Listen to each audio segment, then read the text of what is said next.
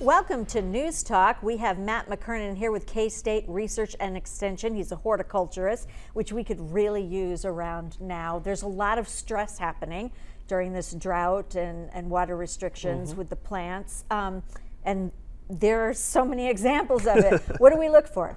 So definitely what we're seeing right now is a lot of environmental leaf scorch, and that's a physiological problem with the plant where essentially it can't get enough water up into the leaves to replace the amount of water that it's losing.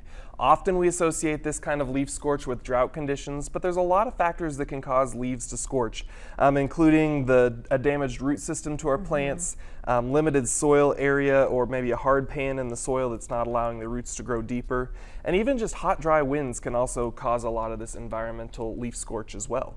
Okay, so let's talk a little bit more about the roots and, and mm -hmm. how and the grass, the distance from grass that you need to keep your plants. I thought that was pretty interesting. Yeah, so one of the ways that we can help our plants when we have environmental leaf scorch is to make sure we're watering deeply, trying to get at least 6 to 12 inches deep. Uh, we can use something like a screwdriver to measure that, and it's going to easily press down into the soil when it's wet and kind of stop when it gets to drier soil. That's so we can know. see how we can um, how deep the water is going.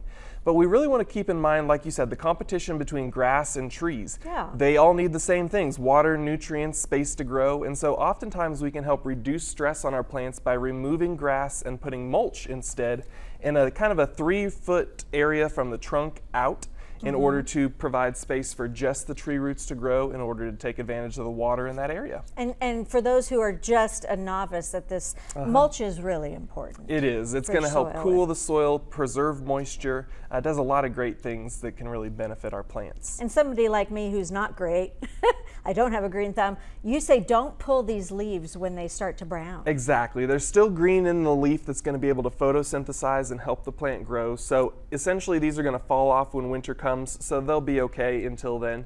If we have really bad environmental leaf scorch, we could see the tree or shrubs kind of shed those leaves prematurely and be bare going into early winter, late fall.